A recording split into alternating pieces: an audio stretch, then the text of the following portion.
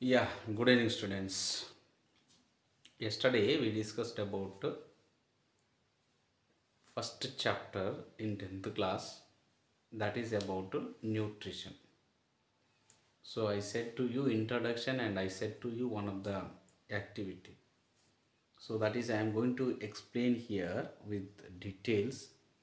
So that's what you listen carefully. You can write down the important points in your notebook. Whatever the notebook I said to you, in that you have to write the bit type questions. So let me write the lesson name.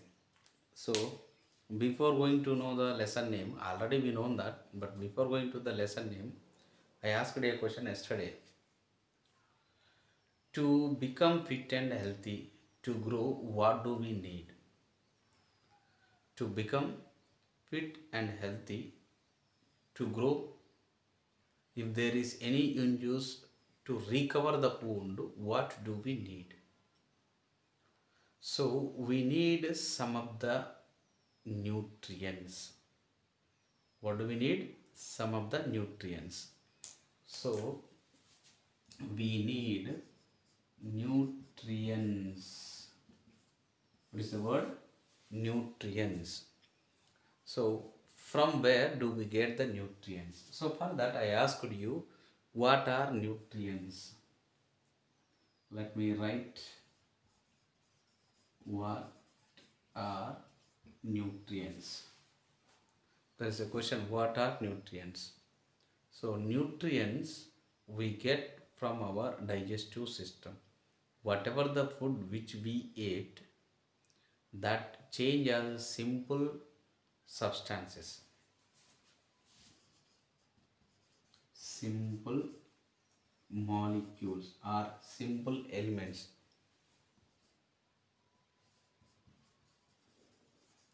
simple molecules. So here simple molecules formation occur by our digestive system which we take in that those we call as nutrients. Yeah, so now here so nutrients we get from our digestive system which we eat. So simple molecules we call as nutrients. What are nutrients means whatever the substances which are formed by our digestive system which help for us our growth, development and when we have the injuries to repair the cells those nutrients are essential. So give some examples of nutrients. So here carbohydrates. Carbohydrates, proteins, vitamins, minerals, fats, some of the salts and water. These are all. Salts and water also. So some quantity only we require salts, not to fats also a little. So water also essential for our body and salts. So these are all we called as nutrients which we got from our digestive system which helps us to become fit and healthy, to grow, to develop, to repair when we have any injuries, to recover the wound. These help for the cell division and we recover that wound with the cell division.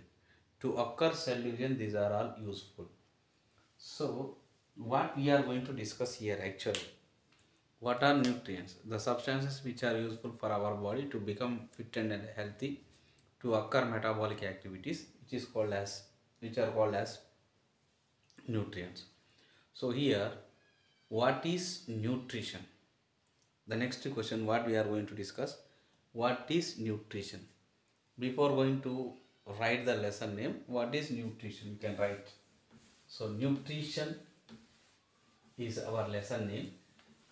What is our lesson name? Nutrition. Our lesson name is nutrition. This is our lesson name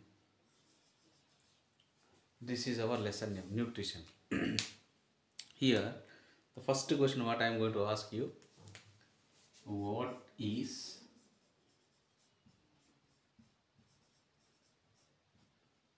nutrition?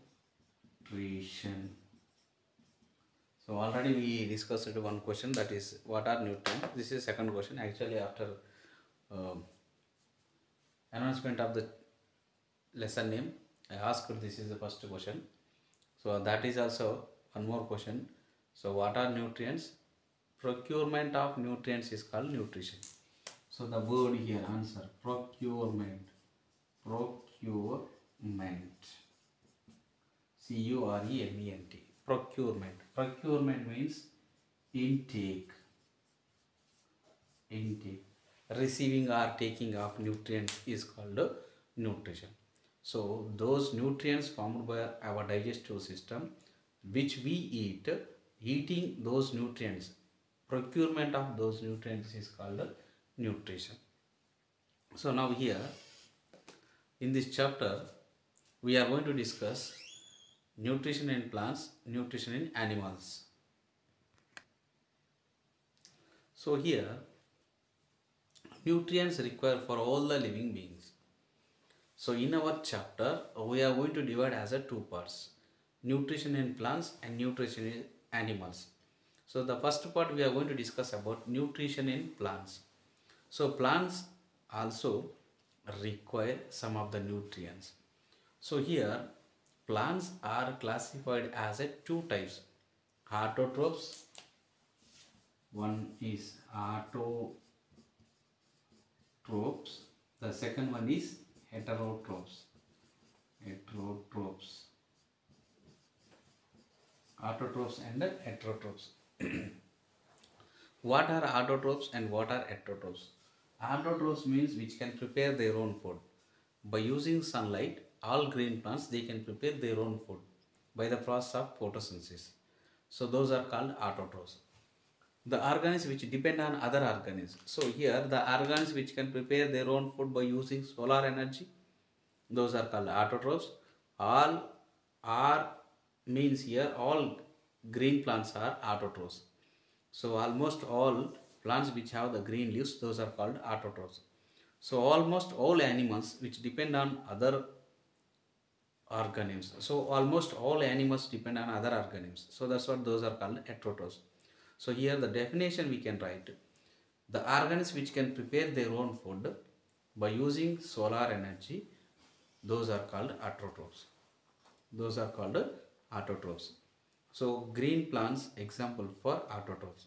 What are heterotrophs means? The organisms which cannot prepare their own food they depend on another organism for their food. Those are called heterotrophs human beings and herbivores are called heterotrophs because we depend on the plants plants green plants are autotrophs. They can prepare their own food. We depend on them for our food so that's what we are called as heterotrophs so here for the autotrophs also to prepare their own food they require some raw materials. So for example in your house your mother is going to prepare rice. So to prepare food for you rice water she is going to use to prepare like that to prepare such a food for the plants. Plants also require some of the raw materials. Those are chlorophyll water sunlight and carbon dioxide. So for autotrophs now i am going to discuss about autotrophs. I think you understood this one. I am going to discuss about autotrophs. So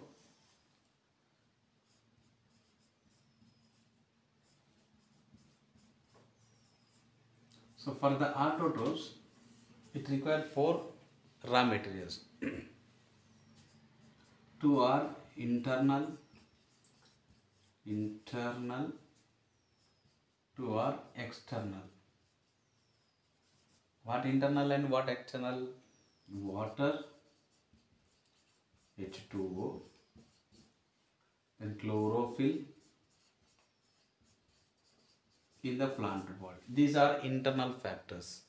So these two and sunlight, sunlight and carbon dioxide, carbon dioxide CO2 these two are external so because these are out of the plant body these two are inside the plant body so when these two present means external internal factors present for the autotrophs then only they can prepare their own food. So here for the first time photosynthesis equation given by cb van Niel.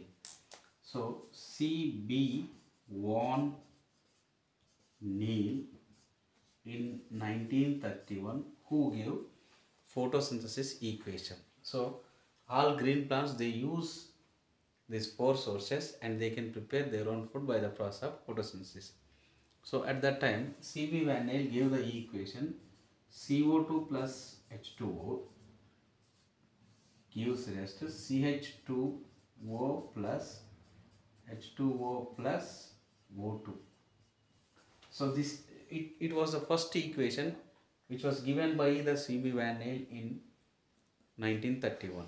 So here, what do you want to write? Sunlight and chlorophyll. Already I said to you students, you know very well about this. At the chlorophyll, by using the chlorophyll, by using solar energy, carbon dioxide combined with water to prepare starch. Along with that, water and oxygen formation occur. This is the process which we call as photosynthesis. What do we call? Photosynthesis. Synthesis. So here photosynthesis means photo means light, synthesis means making or preparing by using the light preparing the food material so that's what this process is called photosynthesis what do we call this process is called photosynthesis so who gave the first equation for the photosynthesis cb van Niel. in which year 1931 what was the equation here carbon dioxide plus water gives rise to ch2o that is carbohydrate carbohydrate. One molecule of carbon dioxide plus one molecule of water gives rise to one molecule of carbohydrate, one molecule of water and one molecule of oxygen formation occur. So it was the first equation. Later on it changed as balance equation that we will discuss. So if you get the question what was the first equation of photosynthesis means you want to write this one if you get the question write the equation of photosynthesis means the balanced equation you want to write already i informed to you that we will write later so i think here you understood who gave the first equation for the photosynthesis? And what are the raw materials required for the photosynthesis? What are the raw materials? So four raw materials required. Those four are classified into external and internal. So these two are internal and those two are external. Internal means inside the plant body water and chlorophyll. External means carbon dioxide and sunlight. So here chlorophyll are two types we are going to discuss how many types of chlorophylls are there there are two types of chlorophylls are there chlorophyll a chlorophyll b so yesterday i said to you let me rub this one so here the structure of chloroplast and where the location of chlorophyll is there that we want to know. So here the structure of chloroplast. So where do we find more chloroplasts? Generally where we discussed about chloroplast. Chloroplasts are in the plant cell that is especially in the guard cells more. The structure of chloroplast disc shape what is the shape? Disc shape. We will find the structure of chloroplast.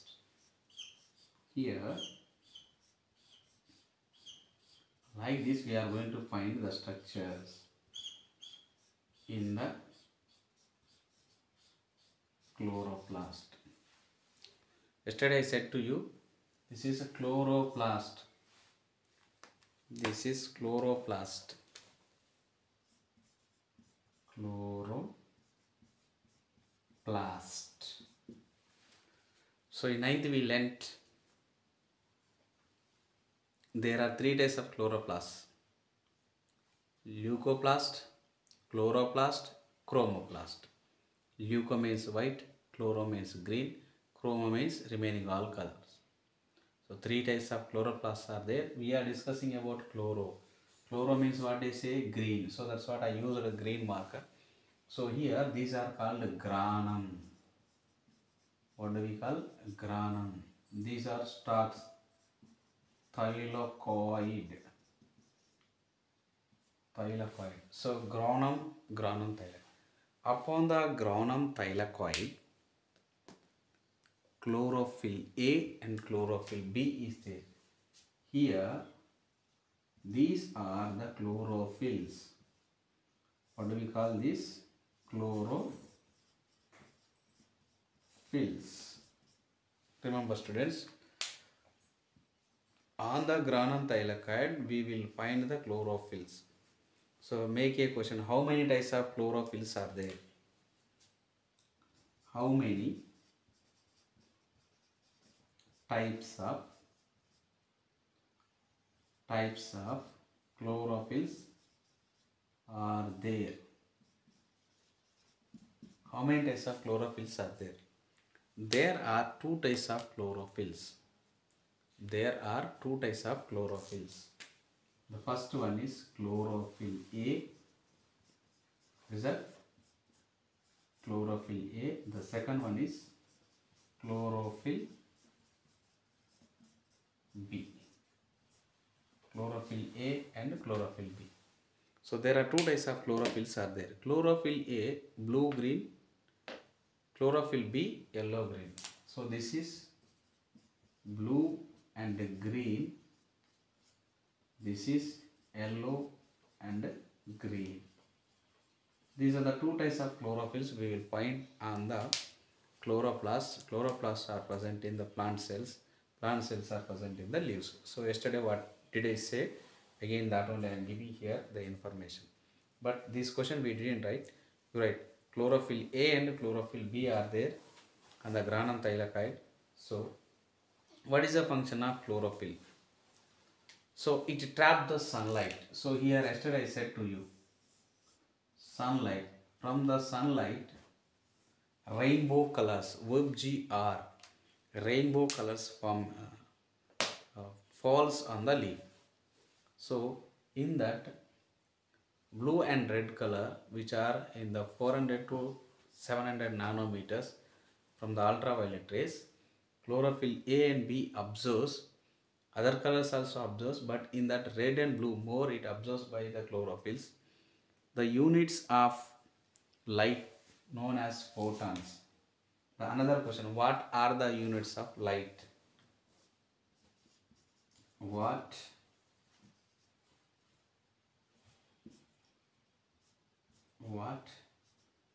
are the units of sunlight or light what are the units of light photons photons the units of light are known as photons so from the sunlight photons absorbed by chlorophyll a and b to form the ATP and NADP.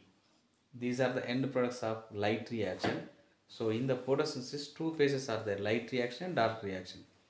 So light reaction is the first phase. By using the sunlight, the chlorophyll combine this water and carbon dioxide and forms ATP and NADPH. Up to there that is called light reaction. Thereafter, without light also the process occurs. So that's what that is called the dark reaction. Two phases are there that we will discuss the next what is light reaction and what is a dark reaction so here how many types of chlorophylls are there chlorophyll a and b a means blue green b means yellow green. So these two types are there. Photons the units of light. So now structure of chloroplast granum thylakoid granum the, this is a liquid portion which is called as stroma. What do we call? Stroma.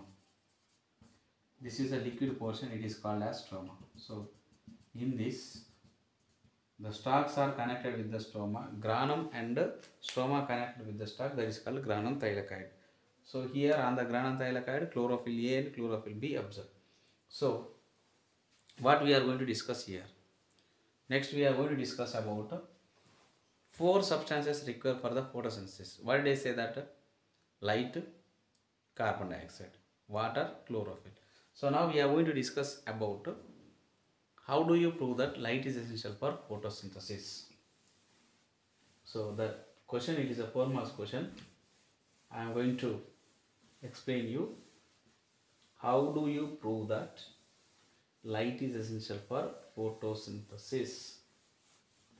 How do you write the question how do you how do you prove that light is essential for photosynthesis. How do you prove that light is essential for photosynthesis? This is four marks question students. Lab activity also. Four marks and lab activity question. Now you don't forget how to start this and where to where we want to write. So it is lab activity that's what we want to write aim first. Aim.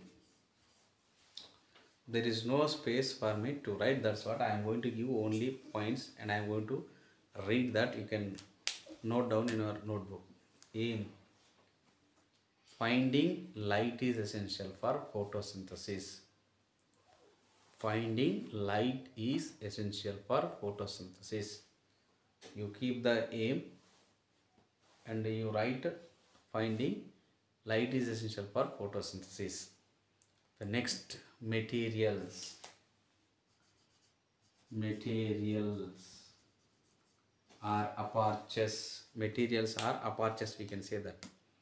Materials potted plant. The plant which is in the pot potted plant iodine solution methylated spirit beaker test tube stove lighter petri dish water. So these are the materials. Once again i am going to say potted plant iodine solution methylated spirit petri dish test tube beaker water light if you want a lighter or matchstick whatever it is you can take all this you can write in this. Next we are going to discuss about procedure. The third step is procedure. Procedure. This is the third step. Here you want to write the brief information along with that. So let me draw the picture here. We are going to discuss about a plant i am going to draw you. I am going to draw a plant for this activity. So here these are the leaves. Okay so upon that leaf so this is a potted plant first we have to choose a potted plant then keep it in the dark room. 3 to 4 days. So keep in dark room 3 to 4 days. So students here i am going to ask you a doubt. We selected one of the potted plant and we kept it in the dark room. So why do we means why what is the need of keeping this potted plant in the dark room? Why we have to keep the potted plant in the dark room? So that is the question. So generally sometimes you will get why do we keep potted plant in the dark room? Why? What is the reason? Why do we keep that potted plant in the dark room? So why do we keep? Means already this is in the sunlight. All the leaves preparing starch. If you do this activity directly from this like this from this means according to this situation that experiment will fail so that's what we have to keep the potted plant in the dark room 3 to 4 days. Then what will happen here? The leaves becomes leaf it will fall down. Fall down means it will not de- detach from the plant. So it get wrinkles it lost it its freshness. That is the intention. Now you have to get the plant from the dark room after three days. If you see that leaves are getting wrinkle and uh, if the leaves are lost their freshness. At that time you want to bring outside the plant. Before going to bring outside the plant you have to take a light screen. So here i didn't mention light screen. Remember it is important thing here now i am giving the word light screen. Test tube beaker methylated spirit iodine solution water matchstick or lighter whatever you are using. Along with that this is the important thing. We have to arrange light screen on the leaf of the plant in this way. Here you can make a star shape so it is completely dark. Here won't allow light. Only at this place you are going to find a light. So let me draw that leaf blue color. This is the leaf. Okay. Now we arranged a light screen on the leaf. Now we are going to keep the total plant in the sunlight 5 to 6 hours. 5 to 6 hours. Now what happened? Within the 5 to 6 hours the plant leaves receives the sunlight and the water combined with the carbon dioxide then it forms starch. Photosynthesis process occur in that leaves. So after 5 to 6 hours detach the leaf means cut the leaf. You can take this one leaf or along with another one also you can take. So then what we want to do we have to take a test tube. Is it clear? In this what we want to take? Methylated. Okay methylated spirit. Methylated spirit. Okay in the test tube we want to take methylated spirit. Then we have to keep this leaf. This leaf and that leaf both leaves we have to keep in this test tube. In the methylated spirit. Then we want to keep this test tube in the beaker. Okay. Pour some water inside this. Now you have to boil this beaker water. What you want to do? This beaker water you want to boil with the stove or any one of the Bunsen burner or whatever it is. So first the water gets heat then it transfer to methylated spirit so here is a doubt i already asked you. Why we have to boil the test tube in the beaker water? Why won't we boil directly by using the stove or candle or whatever it is? We should not boil the test tube along with the methylated spirit because this methylated spirit catch the fire it will burn and it harm to us so the leaf will burn the test tube will burn it may harm to us. So that's what we should not boil the test tube or we should not use the test tube where the fire is there where you are using the fire. So okay this is for our care we are doing. Why we are boiling actually here? Why we are boiling means these are the green leaves. What are those these are the green leaves. Green leaves means what does it contain?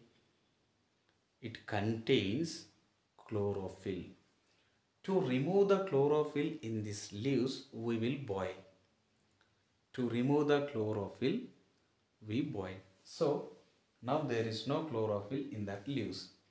Already we kept in the sunlight starch formation occur. We are going to find where the starch formation occur for that we have to vacate the chlorophyll. For that we boil here. Now we can take the leaves with the careful pluckers we want to use. Because up to now we boil so that is hot it may harm us so that's what. Take care.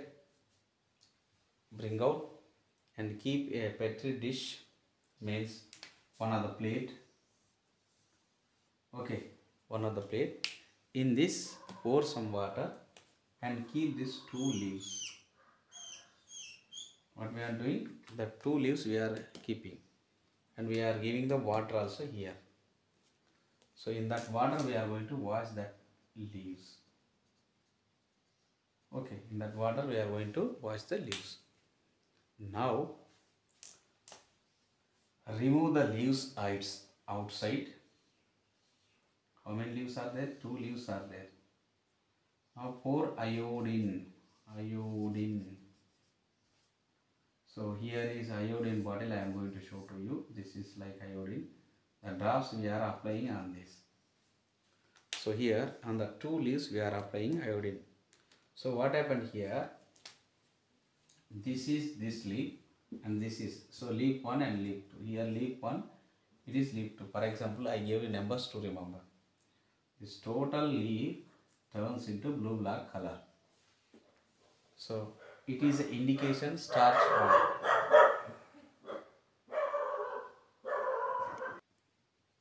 so on that leaves we are applying iodine solution. So here this first leaf completely turns into blue black color. But in the second leaf what happened? You are going to find here turns into blue black color and the remaining portion it turns into blue black color. See here. So here light falls so here starch formation occur and here here. So the starch formation occur. Here didn't form the starch. Now what is the conclusion there? What you are going to get? So the whole process.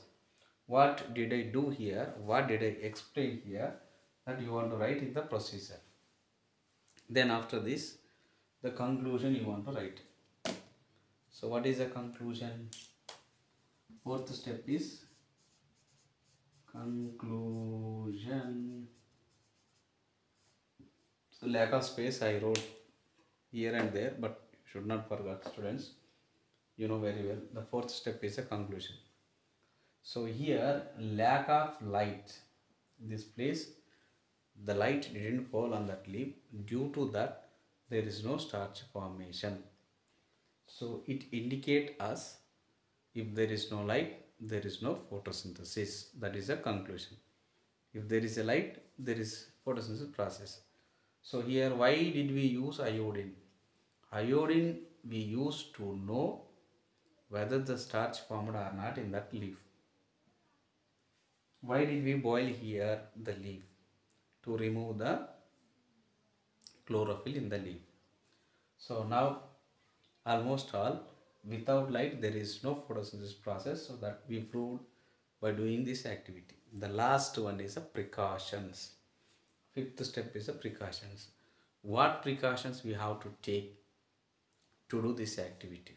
When we are doing something we should take care. Otherwise that experiment will fail. When we are going to arrange this light screen that should be tight. From any direction light should not fall on the leaf. That is first. Second thing after completion of keeping in the sunlight when you are boiling take care. The test tube spirit directly should not boil. In the water beaker, you have to boil. If you boil directly, already I said it will catch the fire, it, it will burn, leaf will burn, it may harm to you, the total experiment will collapse.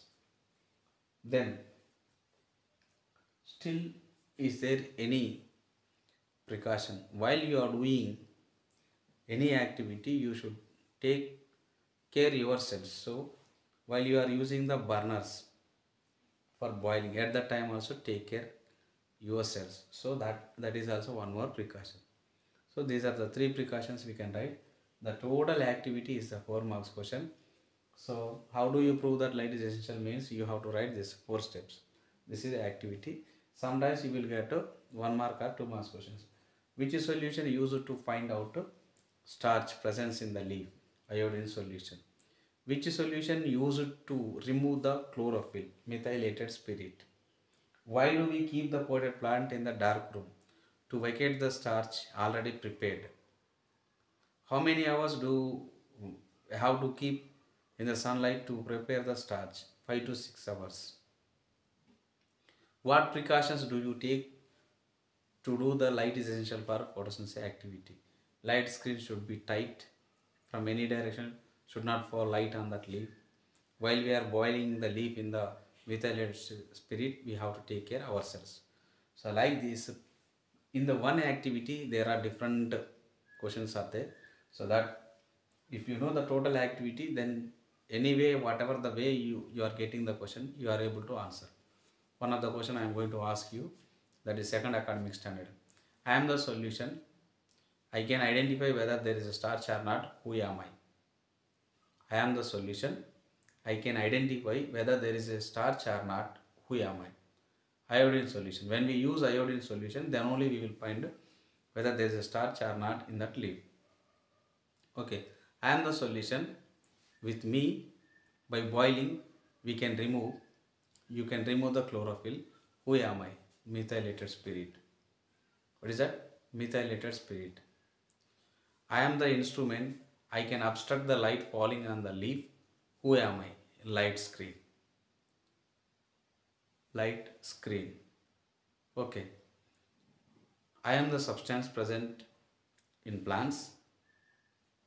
When iodine apply on me, I turns into blue black color. Who am I? Starch or carbohydrate or glucose. Starch or carbohydrate is in solid state, glucose in liquid state. So these these type of questions you may get from this content. I think so you understood all the structure of chloroplast I said.